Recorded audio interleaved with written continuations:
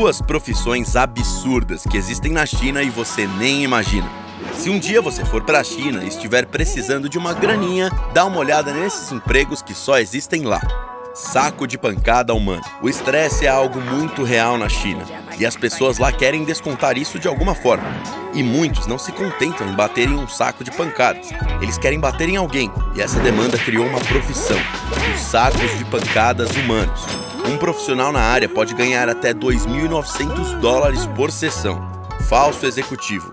Essa aqui é mais tranquila. Algumas empresas querem mostrar que são mais diversificadas do que realmente são, então contratam pessoas, geralmente estrangeiros, para se passarem por executivos em reuniões com investidores. Tudo que você precisa fazer é usar um terno, fazer cara de esperto e concordar com tudo que estão dizendo. Fácil, né? Vai se candidatar para algumas dessas vagas? Conta aqui pra gente e até a próxima!